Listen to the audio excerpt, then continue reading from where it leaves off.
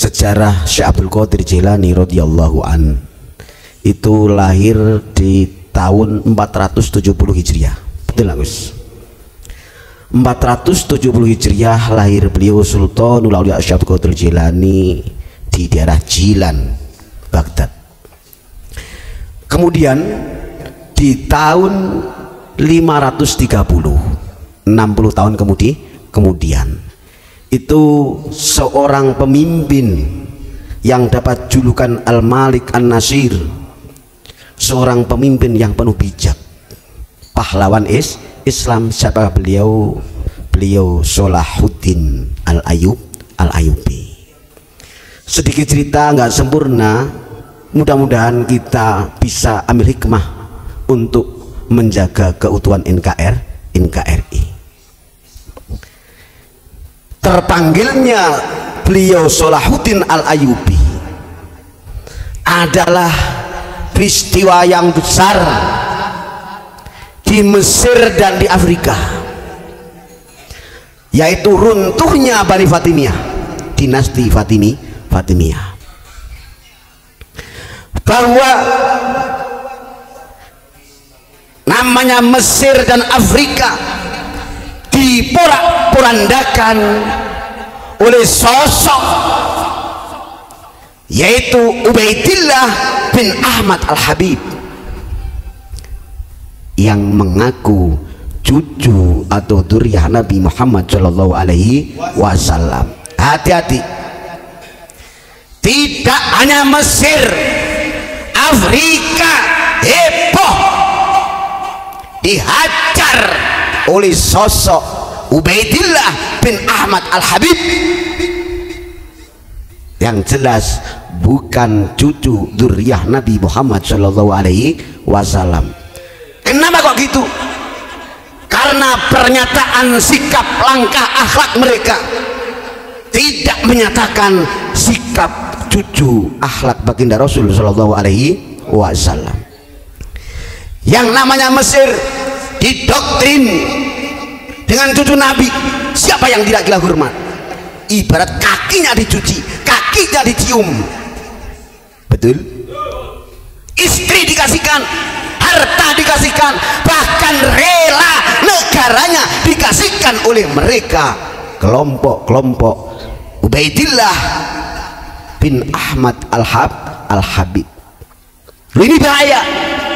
Bah bahaya tidak hanya di Mesir di Afrika juga kan kena. Karena pemerintahan sudah dicengkram. Keagamaan sudah dicengkram. Permakaman sudah dikuasai. Bahkan negara sudah dikasih apa yang terjadi? Ternyata di balik pengakuan duriah Nabi akhlaknya tidak mencerminkan akhlak duriah Nabi Shallallahu Alaihi Wasallam main perempuan. Main berjois. Pokoknya segala hal yang tidak berakhlakul karimah ini dirasakan pabrik Mesir di waktu i, waktu itu. Jadi mau berontak mau demo sudah tidak mampu pak. Awalnya mau di demo Nabi repot. Kualat ibarat begitu akhirnya ditepis ditepis difilter mengadu kepada beliau Sulahuddin Al-Ayubi. Menjerit kepada beliau Sulahuddin Al-Ayub Al-Ayubi. Beliau Syekh Sulahuddin Al-Ayubi minta fatwa kepada Sultanul Aulia Syekh Abdul Qadir Jila, Jilani. Di dalam website dipimpin oleh keluarga Al-Aidid Gus Al-Aidid Masya Allah. Nah ini hati-hati. Waspada. Karena beliau Sultanul Aulia Syekh Abdul Qadir Jailani sudah mendengar fakta Mesir Afrika diinjak-injak diacak-acak sosok orang Ubaidillah bin Ahmad Al-Habib. Sultanul Syekh Abdul Qadir Jailani munajat istikharah dijawab oleh baginda Rasul Shallallahu Alaihi Wasallam. Biarpun berlabel Fatimiyah ngaku cucu Nabi. Hasil munajat Syekh Abdul Qadir Jilani dijawab oleh Nabi kita Muhammad Shallallahu Alaihi Wasallam. Mereka bukan cucuku. Mereka bukan durian Nabi. Sikat habis. Karena akhlaknya tidak sesuai akhlak baginda Rasul Shallallahu Alaihi Wasallam bangkit beliau al imam pahlawan Islam Sulahuddin al Ayyubi seorang al Malik raja pemimpin yang bijaksana Nasirul Um ummah. Tumbanglah dinasti Fatimi Fatimiyah. Nah ini jadi PR kita bersama. Waspada demi jaga keutuhan NKRI jangan sampai tertimpa Indonesia kayak di masa Mesir kayak di masa Afrika yang diacak-acak oleh Fatimi. Fatimiyah dipimpin oleh Ubaidillah bin Ahmad Al-Habib. Hati-hati. Sekarang jangan sekali-kali panggil Habib. Karena sudah fakta. Mungkin kita ini risih pak ya karena hasil suksesnya para tokoh para ulama kita mendidik untuk kebersamaan. Mohon maaf kalau kita sering sehari mendengar risih karena membalas nasab. Saya yakin dari Sabang sampai Merauke mendengar balas nasab ini risih. Karena sudah tidak sesuai dengan ajaran menu paham Indonesia tercinta. Tapi karena terpaksa fakta-fakta yang berbicara kenapa dari mulai Usman bin Yahya berani menyalahkan ajaran Sultanul Aulia Syekh Abdul Qadir Jilani? Torekoh Qadiriyah wa Naksabandiyah dianggap sesat. Hingga estafet sekarang Robito Alawiyah masih memusuhi. Mengaku Torekoh Alawiyah Torekoh Habaib yang terba terbaik. Hati-hati. Di era beliau Imam Nawawi radhiyallahu an al-Bantani. Memang belum ada ilmu tes DNA betul? Waspada. Sebenarnya warning buat anak bangsa. Apa yang disampaikan oleh Syekh Nawawi Al-Bantani? Al-Aksar mayoritas istilah cucu Nabi adalah Sayyid atau Sayyidah. Tapi Pak Abdul Bilad sebagian negeri ada yang mengatakan ha, Habib. Artinya kita harus hati-hati waspada. Jangan sampai di Indonesia tercinta kejadian seperti diacak-acaknya Mesir dan Afrika. Diacak-acak oleh Ubaidillah bin Ahmad Al-Habib. Ternyata bukan cucu, na, cucu Nabi. Bukan tes DNA yang berjalan tapi akhlaknya bejat inilah membuktikan bahwa mereka bukan duriana Nabi kalau di Indonesia jelas bukan durian Nabi karena tidak sesuai dengan pendidikan Indonesia. Bhinneka Tunggal Ika. Sabu habis.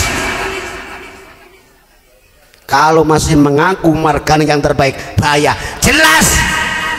Bukan durian Nabi. Karena dia sudah berani. Langkah-langkah petanisia menguasai dan mengganti makam-makam wali kita. Sudah berani menjelekkan ulama sudah bari menghina pribumi menghina presiden menghina TNI dan Polri. Bahkan dasar negara kita dianggap taut ini sudah keterlaluan. Sudah tidak pantas dipanggil Habib yang sudah terdoktrin hampir 150 tahun bahwa Habib adalah duriana Nabi. Bahaya! Sikat! Jangan sekali-kali panggil Habib. Karena etikanya tidak sesuai dengan Pancasi Pancasila. Kenapa?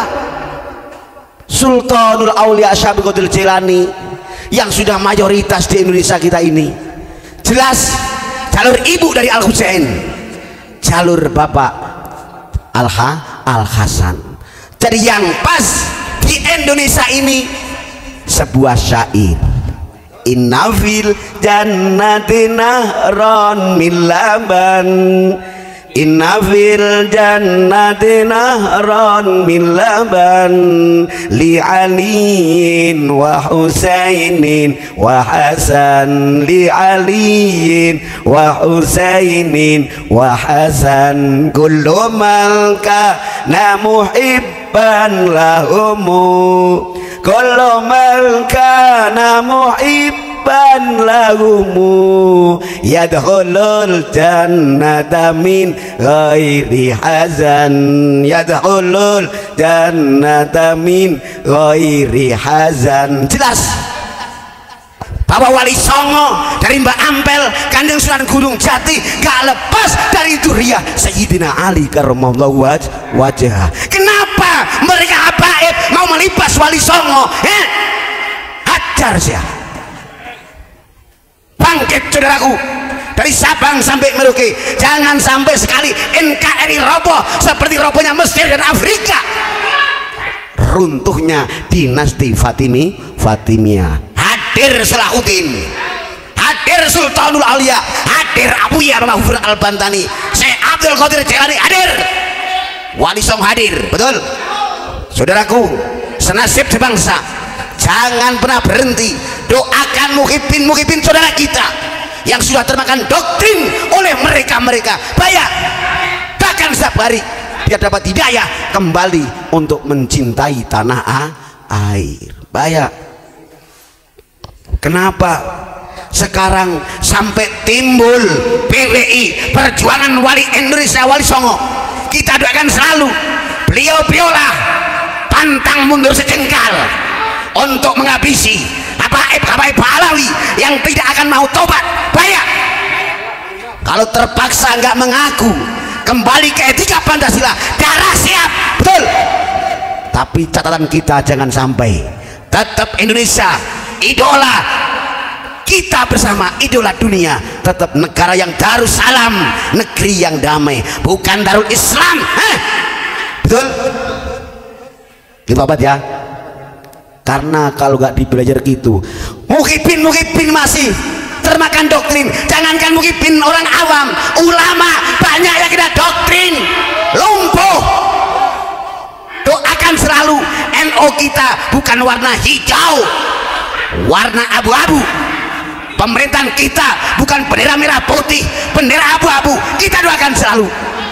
Mudah-mudahan ulama dan umarok kita tetap lurus dalam hidayah Allah subhanahu wa ta'ala dalam arti kekeh teguh megang Pancasila oke okay?